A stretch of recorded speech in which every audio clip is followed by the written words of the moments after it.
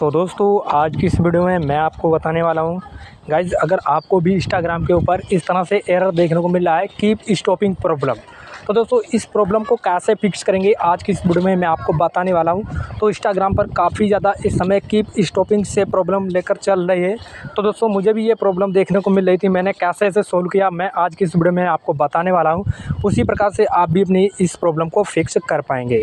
तो दोस्तों वीडियो की स्टार्ट करने से पहले मैं आपसे छोटी सी रिक्वेस्ट करना चाहूँगा। अगर वीडियो पसंद आए तो वीडियो को लाइक कर देना चैनल पर पहली बार सब्सक्राइब करके वेल आइकन को ऑल पर प्रेस कर लें, ताकि सभी वीडियोज़ का आपको नोटिफिकेशन मिल जाए। तो दोस्तों, अगर इस तरह की आपको एरर आ रही तो कैसे फिक्स करना है।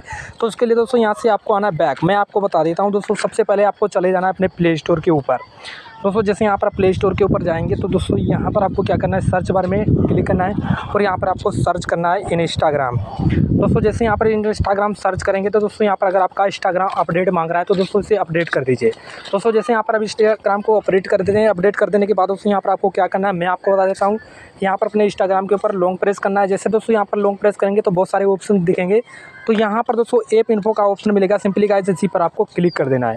दोस्तों, जैसे यहाँ पर आप क्लिक कर देते हैं, कर देने के बाद दोस्तों, इसका आपको फोर्स स्टॉप कर देना है। कर देने के बाद नोटिफिकेशन में जाना है। और नोटिफिकेशन में जाने के बाद दोस्तों, सारी नोटिफिकेशन इसकी अलाउ कर देना है। अगर ऑफ़ है तो यहाँ पर आपको अलाउ कर देना है।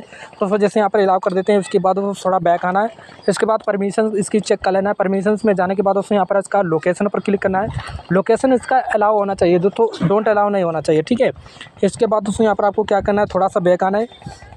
बैक आने के बाद स्टोरेज एंड कैच का ऑप्शन मिलेगा। सिंपली गाइज़ इसी पर आपको क्लिक कर देना है। कर देने के बाद दोस्तों, यहाँ पर दो ऑप्शन आपको देखने को मिलेंगे clear storage and clear cache तो सिंपली से गाइस यहाँ पर आपको गलती से क्लियर स्टोरेज नहीं करना, आपको यहाँ पर क्लियर कैच कर देना है।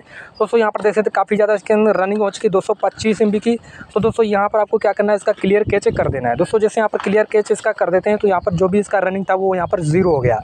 अब दोस्तों यहाँ पर आपको क्या करना आपको यहाँ पर एक ट्रिक लगानी है। ट्रिक क्या लगानी है? अपने फ़ोन को जो है एक बार रीस्टार्ट कर देना है। दोस्तों, जैसे इस रीस्टार्ट कर देते हैं तो इंस्टाग्राम को ओपन करेंगे। तो दोस्तों, यहाँ पर कोई भी आपको प्रॉब्लम देखने को नहीं मिलेगी। इस तरह से मैंने भी अपनी प्रॉब्लम को सोल्व किया था तो जो कि दोस्तों यहाँ पर मुझे इस तरह की प्रॉब्लम देखने को मिल रही थी।